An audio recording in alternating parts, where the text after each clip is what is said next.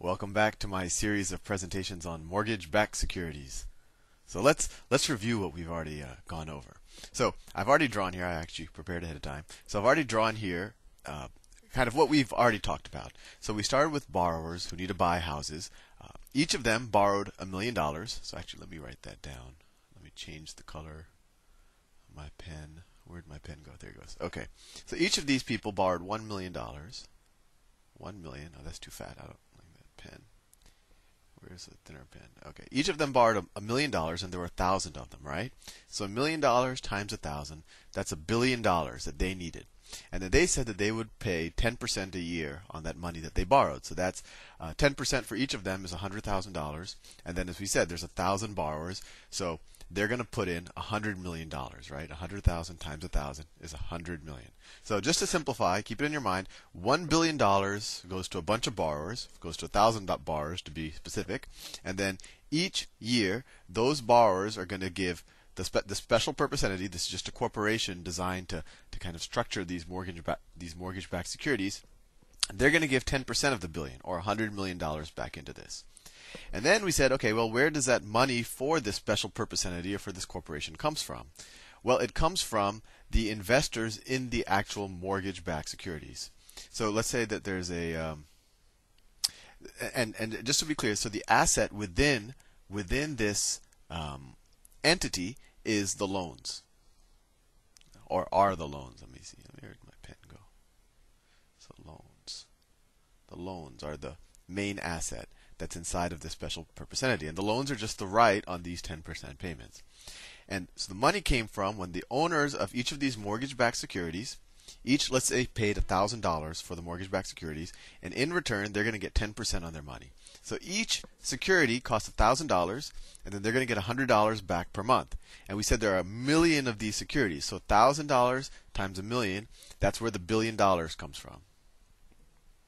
me thing's been acting up. That's where the billion dollars comes from. That essentially is lent to the borrowers. And these guys will get 10%. Now, one thing I, I want you to keep in mind is they get 10% only if every one of these borrowers pays their loans, never defaults, uh, never prepays. Prepaying a mortgage is just you know saying I sold a house, so I don't need the mortgage anymore, so I just pay it off. So it's only 10% indefinitely if if all the borrowers pay all the money and um, um, never default or, or anything like that.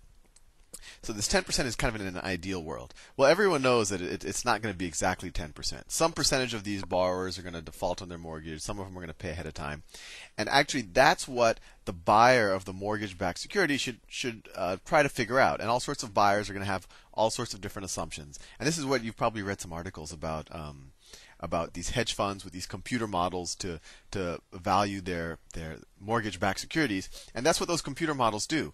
They try to look at historical data and figure out okay, for a given uh, population pool in a given part of the country, what percentages of them uh, are able to pay off their mortgage? What percentage of them default on their mortgage? And when they default, uh, what is kind of the recovery? You know, if say they default on a million dollar mortgage, and then um, the special purpose entity would get control of that house, and then if that house is sold for I don't know five hundred thousand dollars because the, the property value went down, then the recovery would be fifty percent.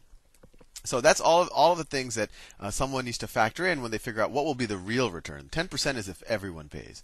So let's let's make some very simple assumptions um, for ourselves to kind of let's say we are thinking about investing in a mortgage-backed security and we want to gauge for ourselves what we think the return is going to be. Well, let's say we know that this pool of borrowers that let me see that my pen keeps stop working. That 20% will default. 20% will default. We're not going to worry about prepayment rates and all things like that.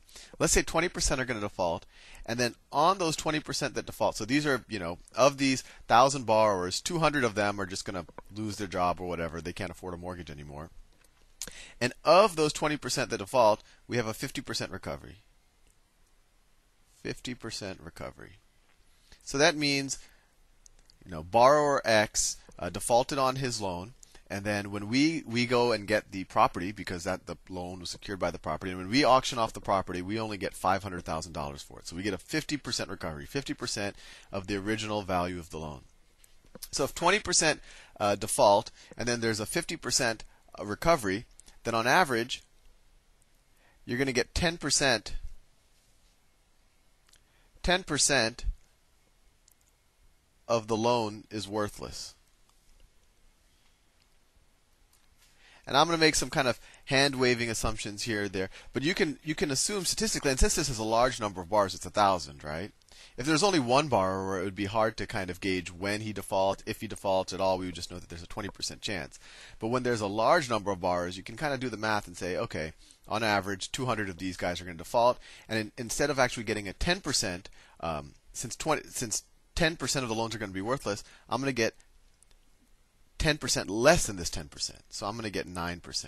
So this is based on the model that we just constructed, right? The model is this is the model that we constructed. This is a much simpler model than what most people use.